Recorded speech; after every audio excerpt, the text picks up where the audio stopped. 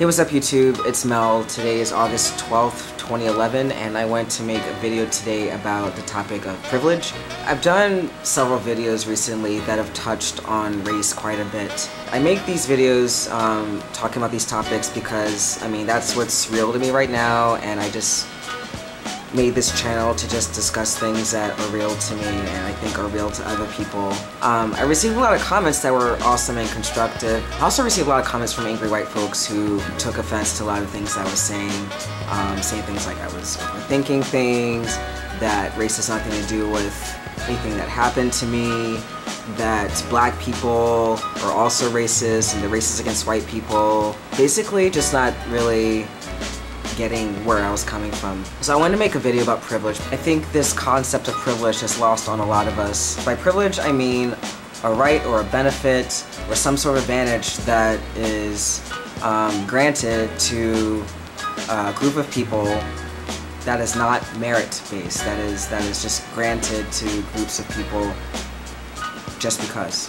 Whenever, whenever we talk about any oppressed group of people, whether that be um, people of color or transgender people or women.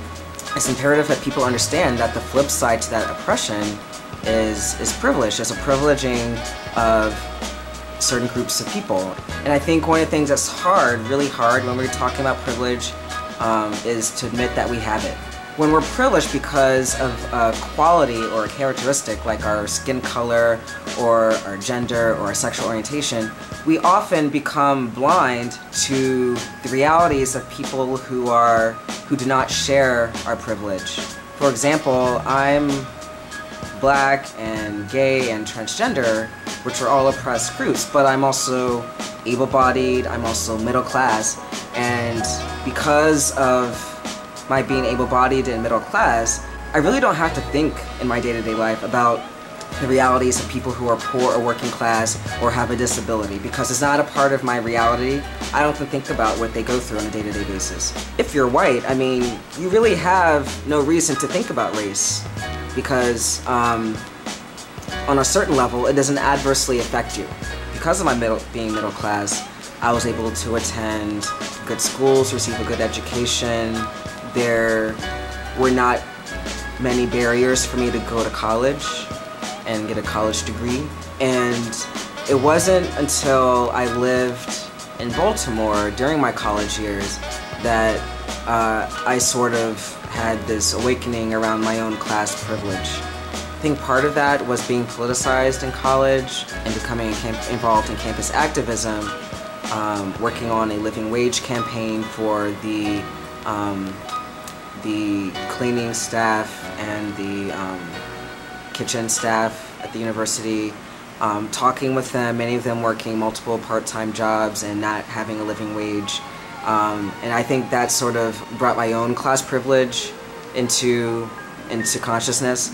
Um, I was fortunate enough to grow up in a household where both my parents just had one job that had health insurance, that kept a roof over our heads, and there have been subsequent times when I've been made aware of my own class privilege. I also remember this one experience when I was living in Baltimore, um, pre-transition, I was living as, as a female. My girlfriend at the time and I went into this convenience store. Later on, um, like a small group of black teenagers um, wearing like white baggy shirts and baggy pants walked in and immediately the, um, I guess one of the people working there kicked them out and said there was a no loitering policy or something like that. Part of it was a racial thing, I think, but also, I mean, these guys appeared to be working class because of their clothes and, you know, someone dressed as myself at the time, you know, I was I wasn't wearing like a suit or anything, but you know, I was just dressed a certain way. And just depending on the appearance, you know, I receive different treatment from, from those, those black guys that walked into the store. I think it's really easy to turn a blind eye to the privilege that one has, and it's really hard to, to uh, admit that privilege and how you benefit from it. I could go on and on listing the ways in which um, my being middle class has privileged me throughout my life.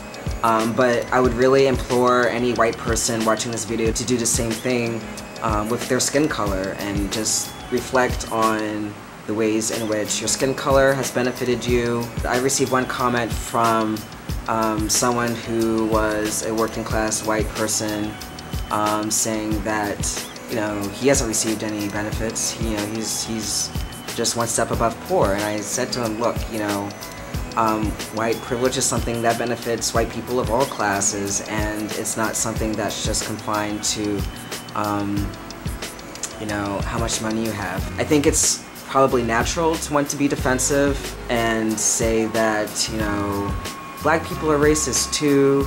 At the end of the day, you know, black people being prejudiced or not liking white people, there's no far-reaching effects for that prejudice. We still live in a society that confers certain benefits to people who have a white skin color.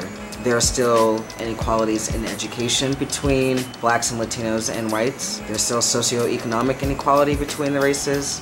And then there's all the psychological slavery, which I got, which I talked quite a bit about in my um, PSA video so I like to tell people this, racism is prejudice plus power. That is the power to institutionalize your prejudice. Being defensive and not acknowledging your own privilege absolves you of the responsibility you have to critically think about your life and your experiences and work to challenge these systems of privilege that do exist. I know it's hard, but you know, I think that um, everyone on this planet should be up for that challenge. I'm really sick of all the negativity and finger pointing and blaming, and I think people should just shut up and listen to each other. Alright, I'm out. Peace.